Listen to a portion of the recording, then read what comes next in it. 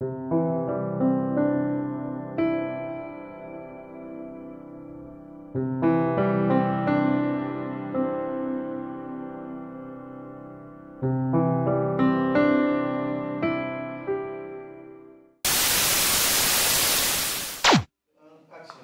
Hello, I am Saran Bah, proudly representing the Republic of Guinea as the very first Miss Universe Guinea. Today, I stand before you not just as a representative of my country, but as a voice for the countless of women and girls around the world whose stories often remain untold.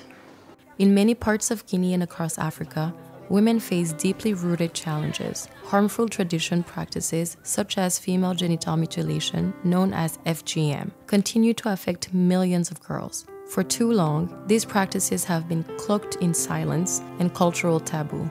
Having endured trauma of FGM myself, I understood early on that this silence must be broken. That's why Empower Her exists. Empower Her was created to address the intersection of mental health, women's rights, and the fight against FGM. In Guinea and much of Africa, mental health is often overlooked, especially for women and girls who have suffered trauma. The stigma surrounding mental health means that women rarely have their space to heal or the support they need to move forward. Since the age of 19, I've worked with institutions like the UK Embassy in Guinea, the UNDP, and various NGOs, advocating for women's rights and creating opportunities for healing and empowerment. In Guinea, where more than 95% of women have undergone FGM, Empower Her is not just relevant, it is urgent. We are not only confronting these harmful practices, but also working to transform the role of women in society. Women are the backbone of African communities, and by equipping them with the confidence and skills to lead, we are reshaping the future. Empower Her goes beyond FGM. We address structural and cultural issues that limit women's potential. Through our leadership programs, we empower women to take charge of their lives, advocate for their rights, and inspire change within their communities.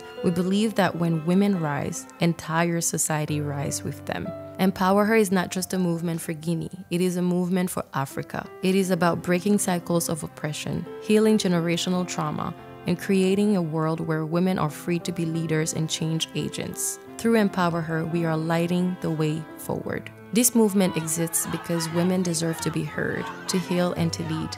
This is my voice for change and the voice of every woman I stand with. Thank you for standing with me in this fight. Together, we can create a future where every woman has the opportunity to thrive.